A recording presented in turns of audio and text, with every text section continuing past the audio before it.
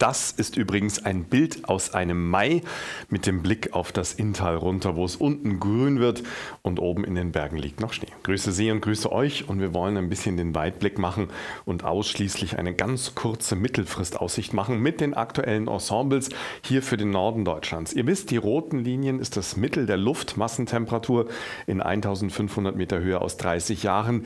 Die weiße Linie das Mittel aller Berechnungen, die wir in Bund finden und unten sind die sogenannten Niederschlags Signale. Und was wir auf Anhieb sehen, der große Regen oder der große Schnee ist erst einmal vorbei. Und hier haben wir Ostern und genau zu Ostern machen die Temperaturen mal einen Knick nach unten, gehen danach wieder nach oben mit den Ausreißern jeweils nach oben und nach unten.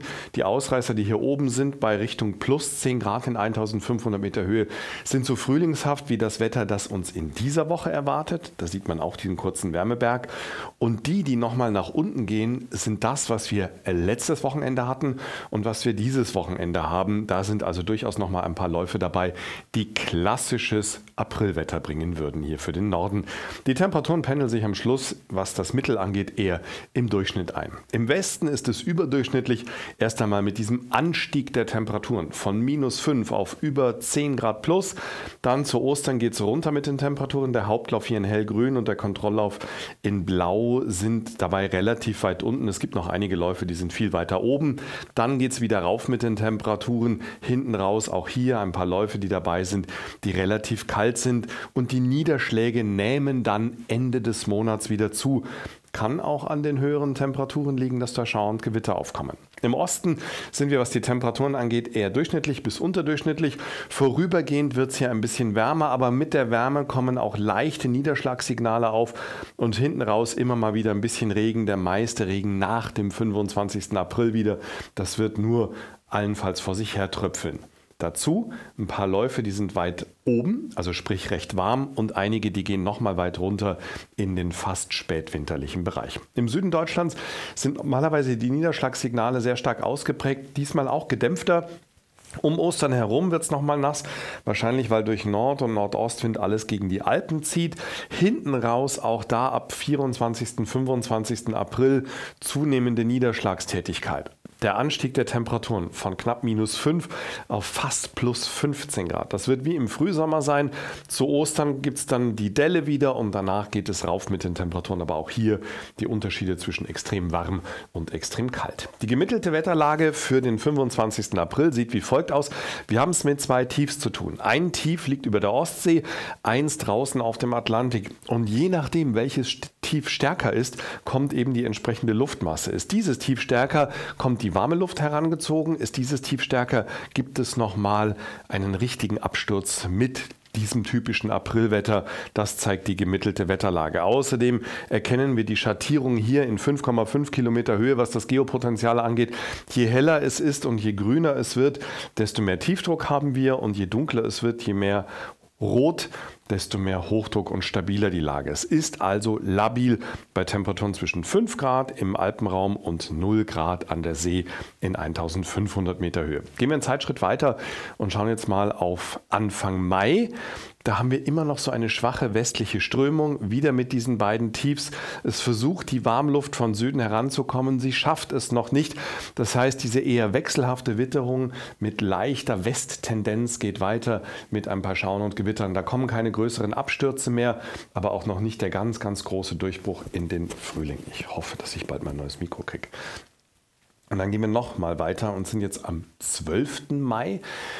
Die Vorläufe hatten noch einen sogenannten Trog drin um Mitte Mai, dass es nochmal kalt wird. Und die neuen Läufe zeigen dann doch, naja, der Trog geht eher weiter Richtung Westeuropa nach Süden über der Iberischen Halbinsel. Das würde dann hier Regen bedeuten und wir kämen in die Gegenbewegung andeutungsweise, muss man noch dazu sagen, mit einem Hoch östlich von uns und in eine zunehmend warme Strömung, dass die Hitze aus dem Mittelmeerraum einerseits Richtung Balearen vorankommt und später vielleicht dann Frühsommerwärme sogar zu uns. Das sind so ganz, ganz zarte Andeutungen, dass der Mai nicht mehr die Linie mitspielt, die jetzt der April gemacht hat, sondern dann tatsächlich den Hebel umlegen wird, dass es mal nachhaltiger ein bisschen wärmer wird. Nicht unbedingt freundlicher, damit können auch Schauer und Gewitter kommen. Schauen wir auf die 35-Tage-Trends und zwar was die Temperaturen in 2 Meter Höhe, die wir normal messen, angeht, plus die Niederschläge unten und das Ganze hier für den Nordosten Deutschlands.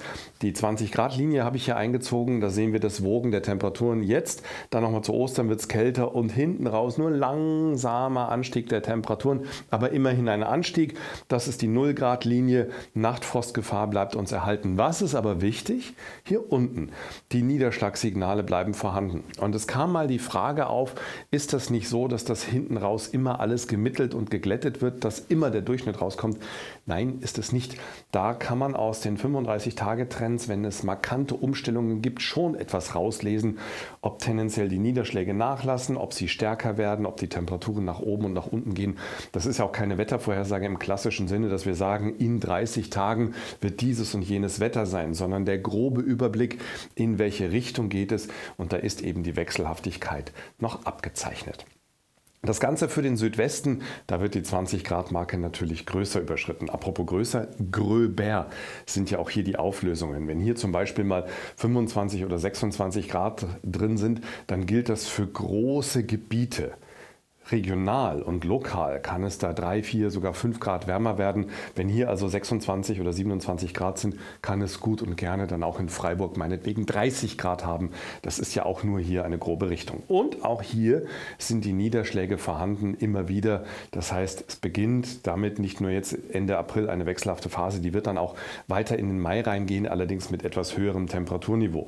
Und das, was wir eben gesehen haben in der gemittelten Wetterlage am 12. Mai, dass da was von Süden Süden kommen kann, ist hier logischerweise noch nicht drauf, weil das Ganze endet ja am 12. Mai. Da müssten wir weiterschauen, aber na, ob da nicht so ein Temperaturbogen nach oben geht, gucken wir mal. Gehen wir noch ganz kurz auf die Alpen-Südseite in den Südosten Österreichs, in die Steiermark, wo wir ja dringend auch Niederschläge brauchen. Hier wogt es ebenfalls rum, Temperaturen gehen aufwärts, Ende April, Anfang Mai wird öfter mal die 20 Grad Marke überschritten. Gleichzeitig nehmen hier auch die Niederschlagssignale wieder zu. Das heißt, da sind mehr Wetterlagen dabei, die dann immer mal wieder Regen bringen würden. Es ist dann Regen. Und zu guter Letzt noch ein Blick noch weiter nach Süden und zwar an den Gardasee, in den Süden des Gardasees. Die Temperaturen hier immer so um die 15 Grad, gehen dann später in Richtung 20 Grad im Schnitt. Allerdings bleibt es auch hier bei einer tendenziell wechselhaften Witterung. Das heißt nicht, dass es hier Dauerregen geben wird, aber die große Trockenheit, die wir zum Beispiel in Norditalien haben, die wird hier nicht fortgesetzt. Es wird zwischendurch zum Wohle der Natur immer mal wieder Regen geben und für alle Urlauber oder alle, die da Freizeit verbringen wollen zum Radlfahren oder zum Wandern, die haben zwischendurch auch genug trockene Phasen. Apropos trocken, das ist jetzt dann der Rausschmeißer, die letzten beiden Karten vom amerikanischen GFS-Modell, was die Niederschläge bei uns angeht in den nächsten zwei Wochen vom sogenannten Nullerlauf.